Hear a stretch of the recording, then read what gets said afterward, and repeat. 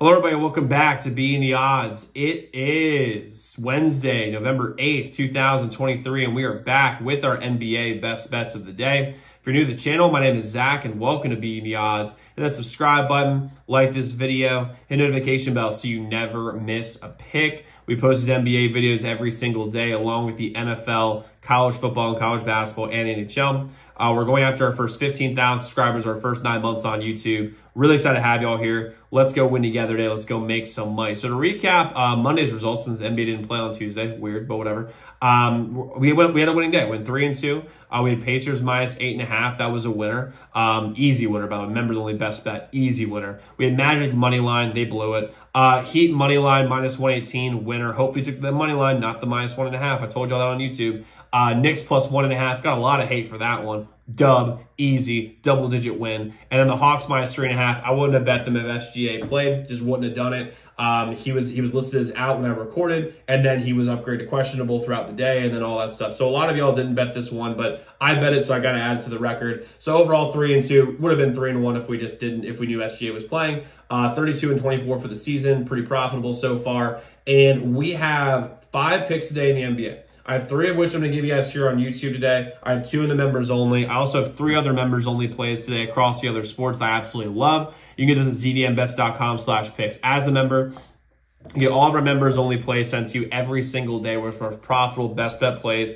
On top of that, you have a direct line to me. So any game you're considering betting, reach out to our hotline number, get a guarantee response back. But any game you're considering betting, and all of our free picks we do on YouTube are sent to you before these videos come out. That way you take advantage of early lines and early odds. Again, the website zdmbets.com slash picks, zdmbets.com slash picks, zdmbets.com slash picks. So let's get into the plays that we have today. I'm going to get started with our first free play, which is going to be the Heat minus two versus the Grizzlies. The Grizzlies without Ja Morant might be the worst team in the league. They are so bad. And the Heat are going to catch their stride a little bit. That was a big win against the Lakers because they were reeling. They did not look good, the Heat did. And they got a big win. They needed it at home. Now they're going to go on the road against a bad team. I see them here cleaning up. Jimmy and Bam's going to play because of Heat culture. And if they do, they're going to win this game. Desmond Bane's a great player, but he does not look the same without Ja. Um, Jaren Jackson Jr. is just a foul machine. Like he's a great player, but he gets in foul trouble early. And if they can get if they get Jaren Jackson Jr. in foul trouble, there's no it is just a free run straight to the rim. There's no one to stop him. I'm gonna go Heat minus two here versus the Grizzlies. Next, we go Rockets plus two and a half versus the Lakers. This one's disgusting, but I really like it. Uh, they're getting points at home. That's the first thing. And really, the biggest thing about this game is, is how healthy is Anthony Davis and is he even going to play? If he does play, how like how effective is he going to be? That hip issue, listen, a hip issue on a big man is a big deal. I think they're underplaying it in like LA. They're just saying like, you know, it's not that bad. It's bad.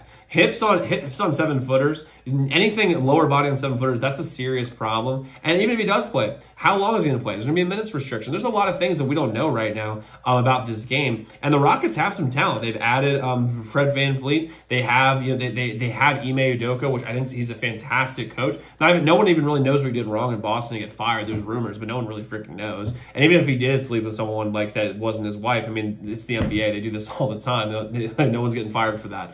Um, don't really agree with it, but hey, like that, that's what happens. So I'm not really sure about that. But the Rockets plus two and a half here have tremendous value. Jalen Green's a good offensive player. Um, Fred VanVleet's fantastic, and they have some good young talent across across the front line with um, with Sengun and Jabari Smith. So I'm gonna roll the Rockets here plus two and a half. This just feels like a game the Lakers are gonna sleepwalk through. And then last year, and take the Timberwolves minus seven and a half versus the Pelicans. No way that CJ McCollum will play tonight after his diagnosis. That really fucking sucks, by the way. I mean that that that really blows. It's gonna be a hit for the team just in general, and that's why I'm gonna go with the T Wolves here. Um, Herb hopefully hopefully gets better, obviously, speedy recovery. Um, Herb Brooks and Brandon Ingram are also out. So is Alvarado. The only player that's actually playing for the Pelicans is Zion, which is like the funniest thing of all time. Um, he'll be out soon though. Don't worry. He'll, get, he'll, eat, he'll eat too many Popeyes biscuits and become um, a tight end really quick in the name of um, you know just quoting Booger McFarland. But you know, they're not, they're going to be very short-handed. The Pelicans are. Uh, the T-Wolves at home have been very, very impressive. They have the guys to run them off the floor today. Anthony Edwards, Mike Conley. Um, if KAT, Karl-Anthony Towns can just not be a fucking moron, then we'll be good because he's got talent, but he's an idiot. And Rudy Gobert is a good defensive player. Don't get him involved in offense, good on defense. So I really like the backcourt for the T-Wolves. The Pelicans are just too short-handed today, and the T-Wolves are at home. I'm to roll with them here. Now, like I said, we do we have two members only plays in the NBA as well as three others across the other sports. You get this at zdmbets.com slash picks. Website link in the comments below. But a quick recap what we have we have Heat minus two versus the Grizzlies. We have Rockets plus two and a half versus the Lakers. And we have the T Wolves minus seven and a half versus the Pelicans. So let's go lock in those picks. Let's go win together today. Let's go make some money. I'll see you all tomorrow. Make sure y'all check those other videos.